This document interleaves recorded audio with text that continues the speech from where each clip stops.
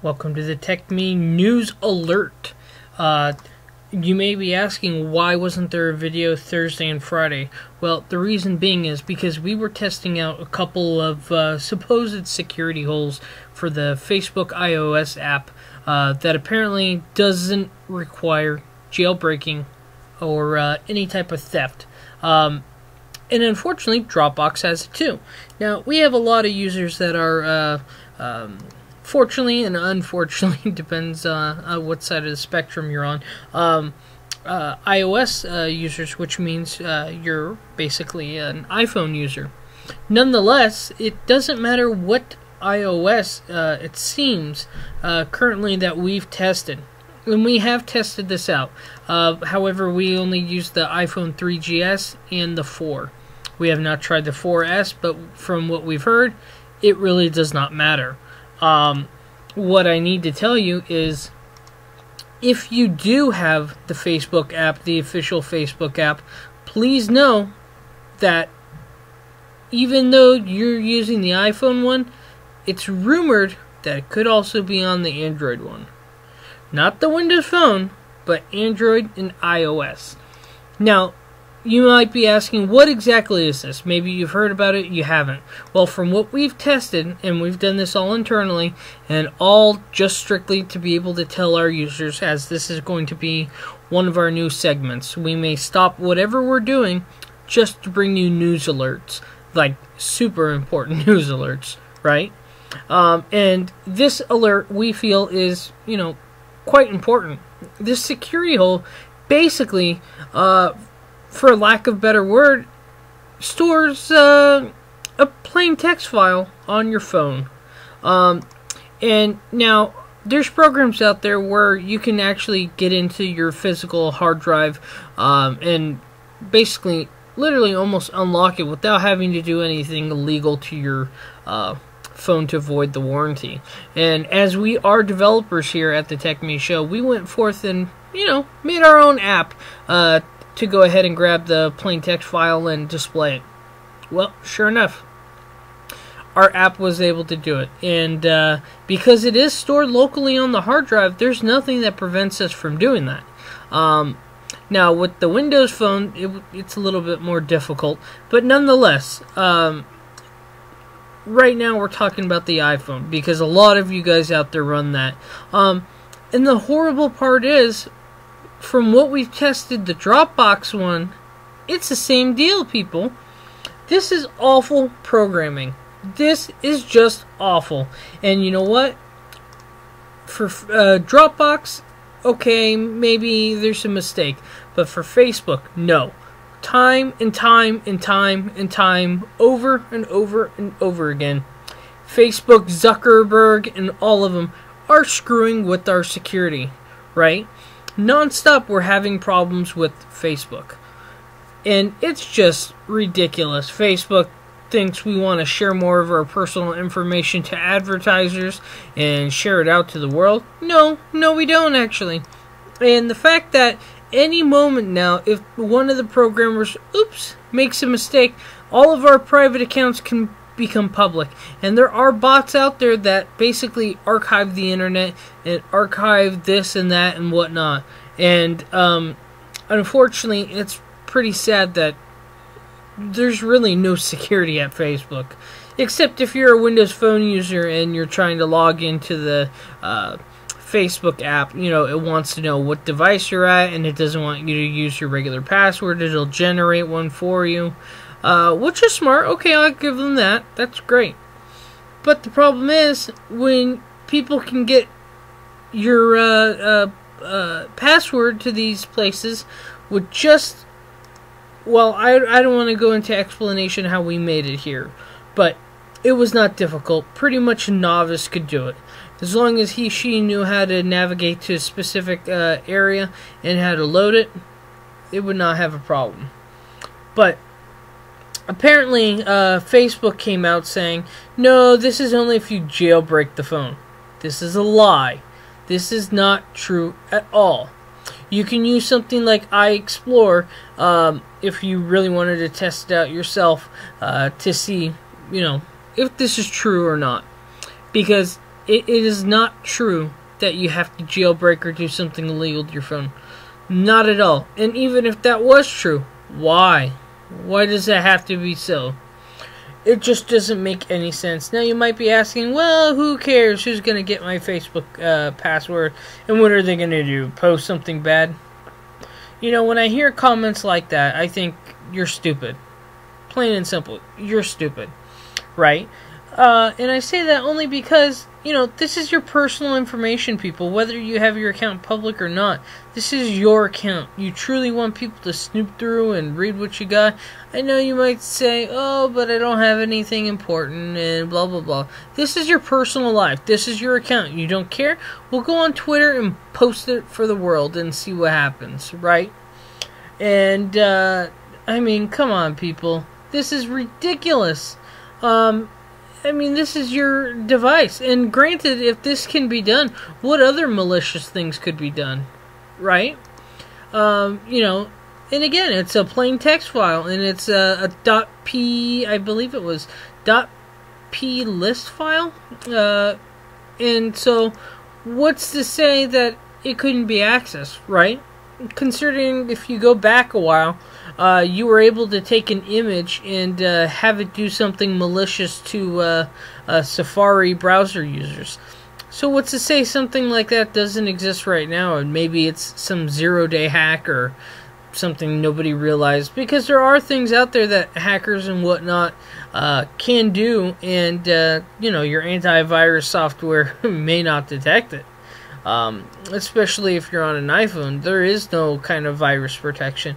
And the best is when we hear people saying, "Oh, I bought a Mac because there's no viruses," which is totally not true. Especially since there's rootkits, which allow them to have complete access over your machine, which is just as good as ha- having a Trojan. But anyways, again, we don't like to talk about how to do hacking and whatnot. But if you did go ahead and download that iExplorer. Um, you could basically go into the apps, um, and let's say you wanted to see your Dropbox, right? You go to your apps, Dropbox, and then you're going to be given a, a couple directories documents, uh, Dropbox.app, library, uh, and temp, and a couple other items. You want to go ahead and navigate to library. And then from there, uh, you want to go forth and click preferences, which is right underneath caches. Uh, and then you're going to see com dot dropbox dot dropbox dot plist. And it's about i think a kilobyte or so. Um, and it'll and if you are using iExplorer, uh, the file type will be plist.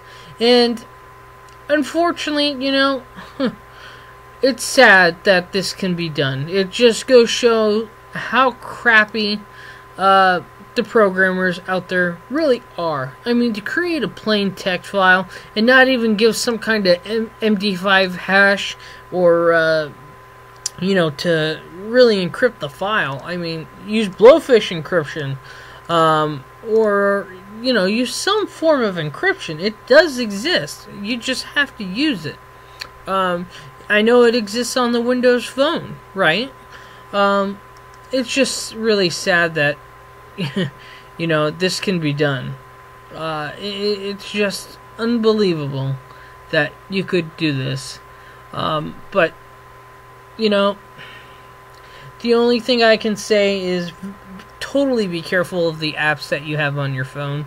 Um, and I recommend you do this we made a video here at the TechMe Show um, how to scan your iPhone, iPad, etc., iOS related devices uh, to see if there's Trojans, uh, where ad companies are going, and whatnot. Go ahead and watch that video. Uh, go through our list. I think it was sometime like a week or so ago. Um, and go through that list. And you know what? Tell me that well, you know what? I'm not going to say anything more. You just watch that video. Um, and just, it's amazing how many apps out there that are sending to multiple ad companies. And a lot of them have been known for tracking, which is awful, which means they can take your personal information, phone number, etc. Maybe they won't call you, but why, what stops them from selling your information? Nothing. Nothing at all.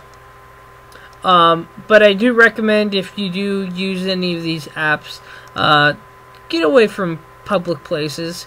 Um, like at the airport, don't go to like those charging stations. Uh, just I wouldn't do it.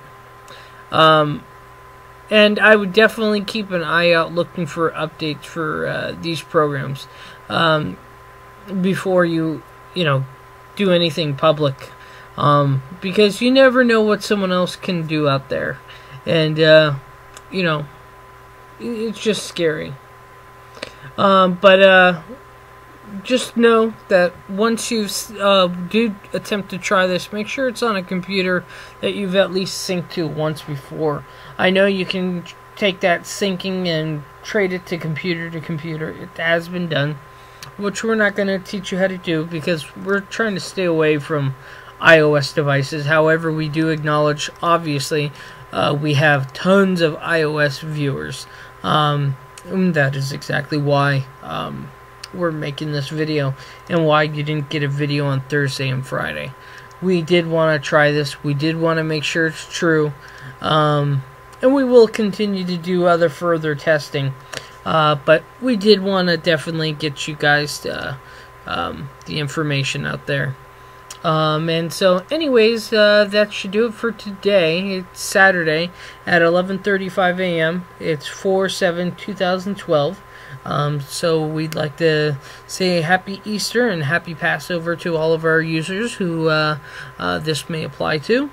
Uh, nonetheless, we again always appreciate you watching the Tech Me Show, and in this case, listening to our live podcast, um, which we hope uh, this was somewhat useful. Um, but we will continue to actually have these alerts. Um, maybe in the future we'll continue to have the alerts and we'll continue to have um, uh, actual the tech videos and maybe get two videos out you per day um, but it really depends on what you need to know because we do like to test things before we go and open our mouth and say oh yeah this and this and that and then it turns out we look like liars for listening to the media or other tech guys who are regurgitate, pardon me, regurgitating content. Uh, we don't like to do that. We'd like to know the truth, um, find out ourselves, and uh, get to the bottom of it. Anyways, nonetheless, uh, thank you guys so much for listening. Um, if you would like to share this with your friends, that would be awesome. You can find us on Twitter at TechMeShow. Um, you can also find us on Google Plus.